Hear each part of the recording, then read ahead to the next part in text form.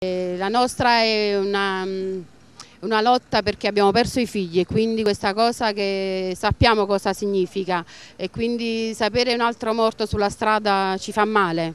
Troppe morti, troppi incidenti, troppe vite stroncate.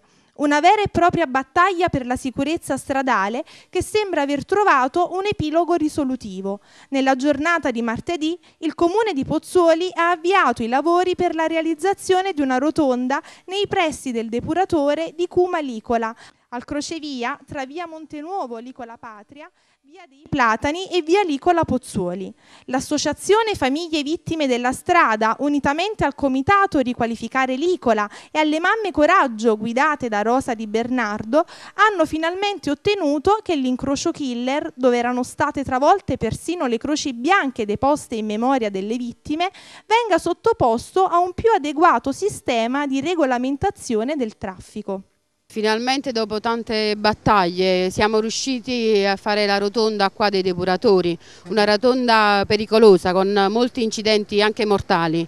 E quindi niente, cioè, fare battaglia eh, vuol dire insomma, che alla fine ci riusciamo, è molto importante che le persone ci stanno vicino, io ringrazio un poco tutti quanti eh, della, della, vicinanza eh, delle persone, dei carabinieri, un po' tutti.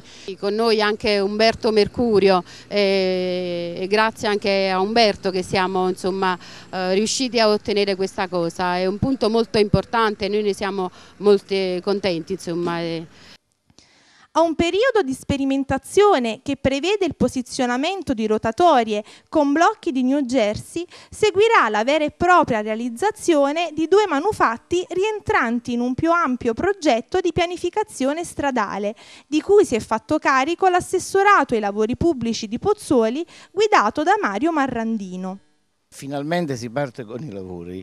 Eh, voi sapete che eh, nel programma dell'amministrazione, amministrazione Figliolia, eh, è eh, presente l'eliminazione del lì dove è possibile, eh, del, dei semafori e creare delle rotatorie così come eh, Piazza Capomazza, riproporre la, la, la, rotonda sul lago d'Averno, Arco Felice e quindi qui. Qui abbiamo iniziato con la sperimentazione perché qualsiasi rotatoria eh, si inizia sempre con lo sperimentare. Dopo qualche mese se ci sono problemi da risolvere è stata progettata la doppia rotatoria qui all'Icola e sono certo, almeno i tecnici, gli ingegneri che l'hanno programmata, eh, eh, sono sicuri e certi di eliminare tutti i problemi che questa zona ha avuto eh, fino ad oggi.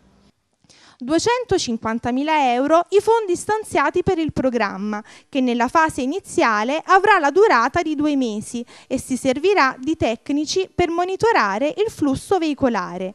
Un atto dovuto dunque, un segno di cambiamento e di fondamentale attenzione alla sicurezza della popolazione.